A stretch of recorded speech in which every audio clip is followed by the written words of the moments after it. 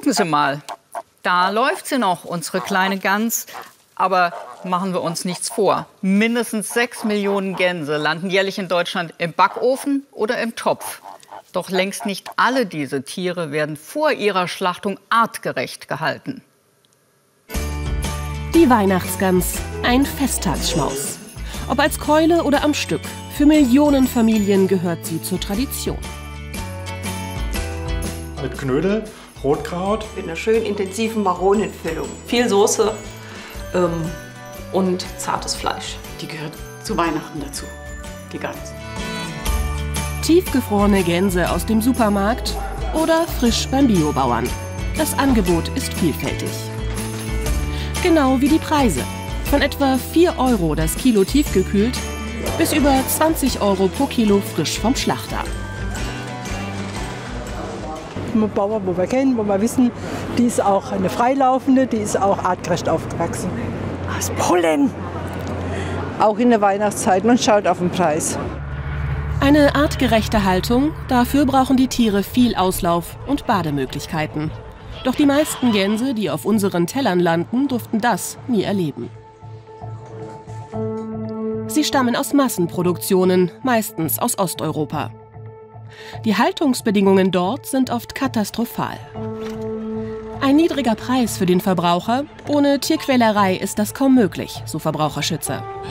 Einer der Gründe, das Gänsefleisch ist quersubventioniert. Wenn ich eine Gans kaufe, die beispielsweise jetzt beim Discounter derzeit unter 6 Euro pro Kilo kostet und sogar aus Freilandhaltung stammt, also aus einer Haltung, die tatsächlich ein bisschen besser ist, dann ist diese Gans mutmaßlich und ganz wahrscheinlich mehrmals in ihrem Leben gerupft worden. Ihr wurden die Daunen, die Federn ausgerissen. Ähm, an diesen Daunen, da verdient der Mäster dann schon so viel Geld, dass er das Fleisch billig hergeben kann. Ein qualvoller Lebendrupf, wie ihn Bilder von Tierschützern zeigen. In der EU eigentlich verboten. Das Eintrittstor ist aber die Mauser. Dann ist ein sogenanntes Abstreifen erlaubt. Viele Betriebe rupfen alle Tiere auf einen Schlag, obwohl die gleichzeitige Mauser völlig unrealistisch ist. Die Verletzungen werden ohne Betäubung zugenäht. Friedrich Müllen von Soko Tierschutz war selbst in Osteuropa unterwegs, auf Farmen mit Tausenden von Tieren. Bei dem einen Tier ist die Mauser schon ein bisschen weiter, beim anderen Tier eben gerade am Beginnen oder noch gar nicht begonnen.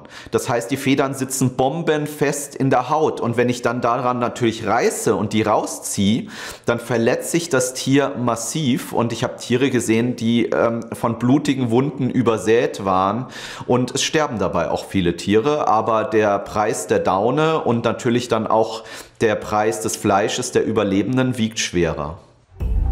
Eine Stichprobe aus dem Handel. Hier fand Friedrich Müllen Fäden, mit denen die Wunden der Tiere ohne Betäubung zusammengeflickt wurden. Solche Gänsekeulen sind häufig auch Produkte der sogenannten Stopfmast.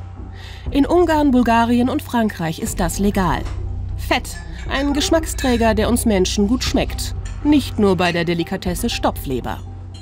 Und dann packt man die, stopfen, packt man die, stopfen, packt man die, stopfen, packt man die, stopfen und zieht halt diese Maschinerie immer hinter sich her. Und das ist tatsächlich, auch wenn das Ding sehr altmodisch aussieht, gerade jetzt in dem Moment werden auf diese Art und Weise in Ungarn Hunderttausende Tiere gestopft, genau mit so einer Maschine. In jedem Land ist die Methode etwas anders, aber immer gleich grausam. Große Mengen an Maisbrei werden mehrmals täglich mit Druck in die Mägen der Tiere gepresst.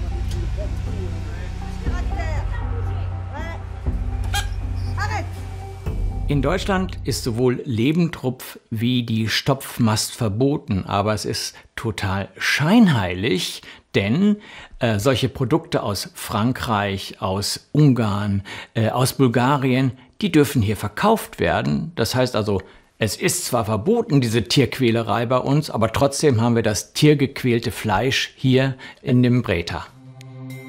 Der Deutsche Tierschutzbund setzt sich für artgerechte Haltungsbedingungen ein.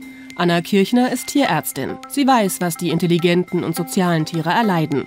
Entzündungen und Fieber sind an der Tagesordnung.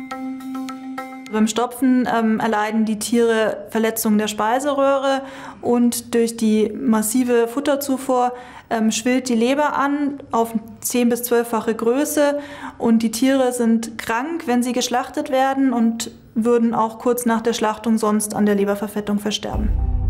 Im Dschungel der gigantischen Auswahl ist es schwer für die Verbraucher überhaupt noch durchzublicken. Rund 85 Prozent stammen aus Polen oder Ungarn. Die Konzerne machen große Profite. Doch Tierschützer kritisieren nicht nur das Tierleid. Ich habe selber erlebt, was das für Menschen sind, die da zutiefst ausgebeutet werden, um diese Drecksarbeit für die Branche zu machen. Es sind sozusagen die Ärmsten der Armen in Ungarn, die werden auch ganz mies bezahlt, ruinieren ihre Gesundheit im Rekordtempo. Also an der Gans klebt auch das Leid von Menschen. Auch in Deutschland gibt es Missstände. Zusammengepferchte Tiere auf engstem Raum, gemästet mit Billigfutter und Antibiotika. Auch hier Aufnahmen von Tierschützern, die diese Qualen zeigen. Wir fordern, dass Gänse in Deutschland artgerecht gehalten werden und äh, genug Platz haben in der Haltung und natürlich auch ein, eine Badegelegenheit und genug Wasser für ihr Pflegeritual zur Verfügung haben. Und zudem fordern wir ein Importverbot von Stopfleber und gerupften Daunen nach Deutschland.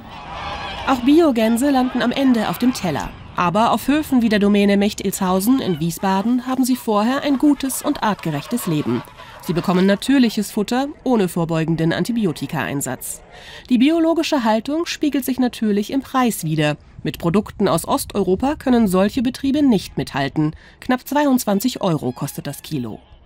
Die Gänse haben viel Auslauf ähm, und haben ihre Zeit zum Wachsen.